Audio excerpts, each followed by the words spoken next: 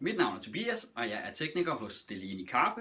I denne video vil jeg fremvise den daglige rengøring af Share Coffee Soul maskinen. Den daglige rengøring er forholdsvis let, i det man blot skal starte et rengøringsprogram, som vil guide dig undervejs.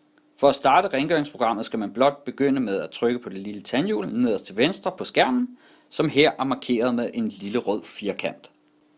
Herefter skal du trykke på den lille play-knap eller trekant til højre for hvor der står rengøring med smiley, og igen ud fra planlagt rengøring, og til slut rengør alle systemer. Nu er rengøringsprogrammet startet, og vi følger trinvis, hvad maskinen beder os om på skærmen. Det første, den beder os om, er at fjerne grumsbeholderen, som vi tømmer og børster af, samtidig med at vi også børster af inde i rummet, hvor grumsbeholderen sad. Herefter fjerner vi afdækningen til drikkevareudløbet og skyller det af, for at så påmontere det igen, som vist på skærmen. Herefter trykker vi på den lille play-knap nederst i højre hjørne af skærmen. Nu beder maskinen så om rengøringstabs. Alt efter forbrug vil jeg anbefale, at I anvender to tabs. Tabsene skal som anvist på skærmen indføres i det lille hul, der er i den midterste ingrediensbeholder. Når dette er gjort, trykker vi igen på play-knappen i nederste højre hjørne. Og så til køleskabet. Vi starter med at fjerne mælkebeholderen og sætte den i køl, eller at den tømmes og rengøres alt efter hvor frisk jeres mælk er. Og så trykkes der igen på play-knappen i højre hjørne. Så finder vi den lille blå plastikbeholder med låg frem, og heri hælder vi et brev med Milk Pure Powder i.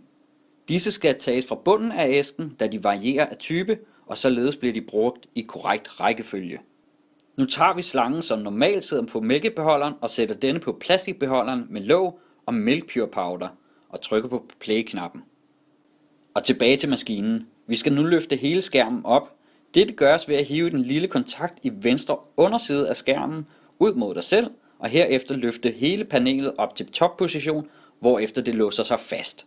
Det grå mixerhus skal nu hives ud, rengøres